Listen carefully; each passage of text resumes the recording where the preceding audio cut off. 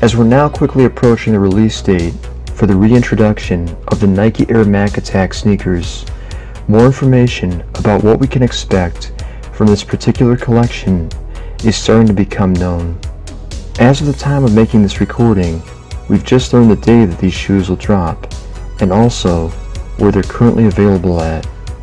It's also been widely speculated that since there's quite a few different shoes that will be released with this collection, such as the release of the OGs, the Crush Red colorway, the Social Status collab exclusives, the Travis Scott model, and also the Vapor 11s, it's believed that these shoes will not all be released at the same time, and with a very low price of $120, these shoes will almost certainly not be on the retail market for very long. To avoid missing out on this collection, make sure that you grab your copy of our buyer's guide, which has now been updated to include the drop date of the Nike Air Mac attacks and also where they're currently available at.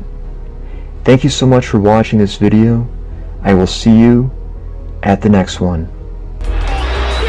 Answer my question! The question, jerk!